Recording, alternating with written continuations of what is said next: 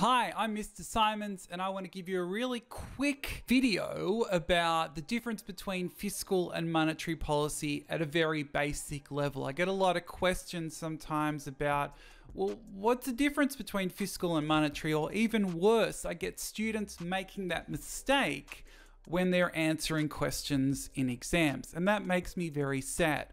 So, what I want to do is just quickly set it up go through the basics, maybe take another 90 seconds of your time if this all goes well. Two hours later.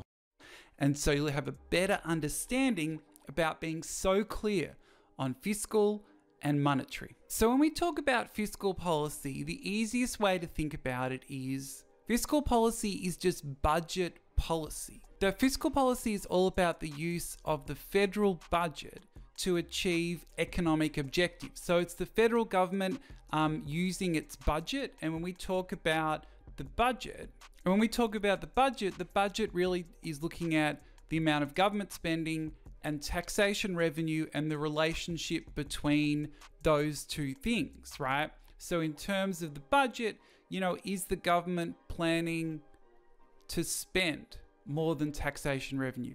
Is it planning to earn more than it spends, or is it planning to have them equal?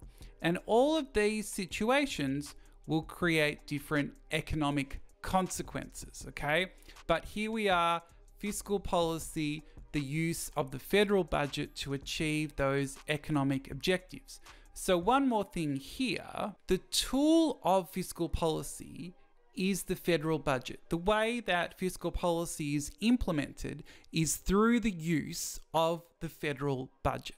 Okay, we're running out of time because I made a promise to you. So let's switch over to monetary policy. So monetary policy is still technically government policy, right? If a question asks you about government policies, just be clear that at least in the New South Wales HSC context, you definitely should talk about monetary policy because it is still government policy, but in Australia, it is implemented by the Reserve Bank of Australia on the federal government's behalf. So it's independent of government, but it's still government policy, but it's implemented by the RBA. All right, hopefully that's not too confusing. So, monetary policy involves adjusting the cash rate, right? Moving the cash rate up and down, and involves not just anyone, involves the RBA adjusting the cash rate to affect the general level of interest rates. That's what I mean by IR. The interest rates, uh, general level of interest rates, let's be clear, in the economy, and therefore affect the level of economic activity. So the RBA changes the cash rate, the banks change the general level of interest rates, and the general level of economic activity changes as a result. Uh, one more thing just to match it up over here. The tool of monetary policy, remember the tool of fiscal is the federal budget. The tool of monetary policy is domestic market operations. You could also refer to open market operations, and that's the physical process of how the RBA seeks to adjust the cash rate to then affect the level of economic activity.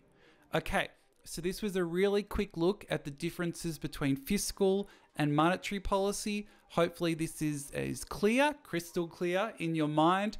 Any questions, uh, put in the comments. And um, thank you for watching.